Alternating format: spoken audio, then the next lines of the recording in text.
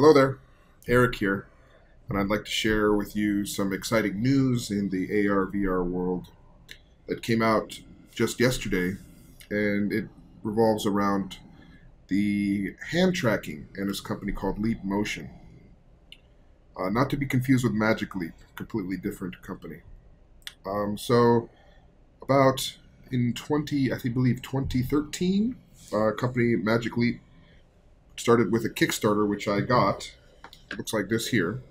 It's a little uh, device, user interface device for hand tracking. And what you do is you, I've got two of them here. Let me show you. It's basically a USB device. You stick it into your PC and sit it in the front of it, and two infrared blasters shoot up, and then you can uh, control your desktop or whatever software you're using with motions. So when I tried this out, I believe in 2014 first, you know, I was using Windows and I was a little frustrated with it because it's Windows is not made to use this type of interface, right? So I was trying to close screens touching them, but the little X's weren't so good. And you can swipe from books and home pages, and I was doing this to scroll up and down web pages and whatnot. But I remember very uh, uniquely that this experience was not very good, especially in a Windows setting. But um, very soon after, you could pair it up with, people were pairing them up with headsets like this for hand tracking because now, now you, you're in a VR space and you can use them to track your hands. So you can mount it on the front of a VR headset, kind of like this. So it would act as your kind of physical eyes, and now you can kind of use hand gestures inside the VR space. And we first saw this um, in TEDx Kyoto 2014, one of our partners, Fuji Xerox, and our uh, interactive media team, which I lead, um, worked together on a sort of a project to have a VR space and play a simple card game where you touch cards and move them back and forth. So you can play a, a, virtual card game with using your hands and gestures. So this video is actually from 2014 when they were demoing this technology. So now we have the hand tracking combined with uh, VR head tracking in a space. So this actually makes more sense, right? The Windows, I was frustrated with that experience because it wasn't. It was made for a mouse not hand gestures. But the VR sense, it's going to be harder to hold a mouse and you want to be able to move around freely. But what Leap Motion just put out yesterday is this something called Project North Star. Now, before you get too excited, uh, this is not intended to be a consumer product. Uh, it will be a, uh, it'll be the plans for it and the software and the SDK will all be released open source, which means if you're a developer and if you want to put together one of these on your own, you can and start messing around with it. And as a researcher in this technology, this is very exciting because it'll be cheap and you can kind of make this stuff from the ground up. It's a learning experience as well. So this is almost the same as the VR experience, right? So instead of being in a completely virtual environment and tracking your hands as a user interface, you're actually looking at the real world, sitting at a desk, perhaps, and your hand gestures are now uh, manipulating virtual objects in mixed reality. So you can have a screen. This you can imagine the, the infamous Minority Report with Tom Cruise, what he's doing like this. So images are being projected in your eyes, but you're able to see the real world, and now you're able to manipulate those virtual objects with hand recognition. You can see on the top here, you can there is a perhaps a upgraded version of this motion leap embedded in the top of this display.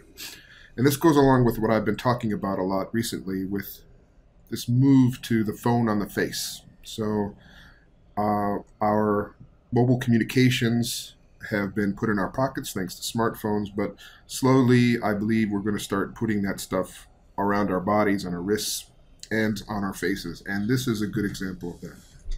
So there's been a lot of other news, of course. Magic Leap announced their Magic Leap 1. Uh, there's also the Microsoft HoloLens and a couple of other mixed reality devices, but those are quite different. Uh, the main difference being that those are made to track the environment, right? We it, it tracks the uh, geometry of a room, the objects in front of you, and then you can place virtual items on them. Great for something like a, maybe a Pokemon Go. This can't do that so much, track the environment. But what it can do really well is track your hand movements, because this is what Magic Leap or um, Leap Motion, I'm going to get this confused as well, concentrates on. So when you put these together, um, you have a see-through, uh, kind of like a projected lens. Going to project some items onto it, and the hand tracking and a couple of cameras is going to look at the environment and then place virtual items in front of you.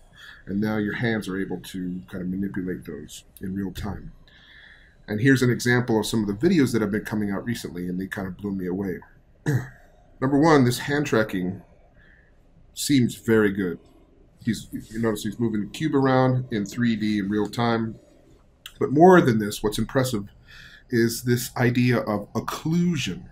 And it's a big issue, a big problem with developing augmented reality and mixed reality stuff. Um, you need to sense depth and align that with the objects around them. So, usually, in the express my uh, AR projects ARientation that I've been developing for learning and teaching, it when you point maybe let's say a, a mobile mobile device with AR in it at an object, it'll place it on top of it, move it around, and interact with it in three in um, real time, but it's always over it, right? So let's say this is my virtual item, and I put my hand in front of it. The that overlay will still appear like it's in front of this this hand. It doesn't know how to deal with that depth so much. And if you can see, he's moving his hand through the cube, and that's dealing with that occlusion um, challenge very well. There's another example here. Um, I believe it's the same developer. So now he's tracking his hand, and he's knowing what side of the hand he's looking on because of the position of the thumb, probably. And now he's using his other hand and the depth sensing as well to have sort of a virtual wearable device. And now he's looking at his hand and he can pull out information and it tracks it in real time. Now, it looks great from this angle, but understand that looking at it from afar, you're going to have this big, goofy um, contraption on your head to get this view out of your head. So he's probably looking through a camera as well through this. So you put a couple of these together, right? So now up on the top, you can see he's moving his hand, and but that's tracking it how, and what that looks like in 3D time. So what we first started doing was in the 3D space. And this is a great example of where I believe this is going, right? So actually, the, probably the end all be all of it is you want both, right? You want to be able to track your hands and manipulate things very quickly and easily.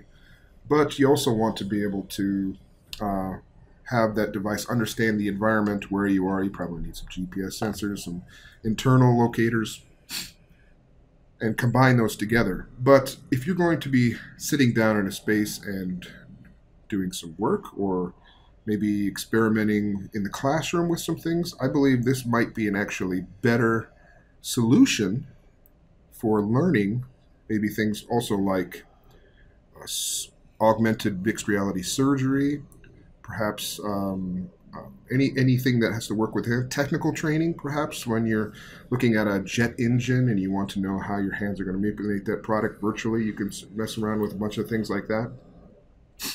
So I'm, although once again, you can't buy this and you probably won't be able to, but all the plans and the software is becoming publicly available, open source. That's very exciting. So that they say you'll be able to build one for around $100 US.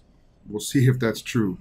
Um, if I get a hold of the plans, I very much hope to try and build one of these myself and experiment with it. And if you'd like to join me, um, ARientation.com is my augmented reality page. Ready Teacher One is my techie in um, teaching and learning blog, or you can find me at erichawkinson.com. And I'll Talk to you in the next one.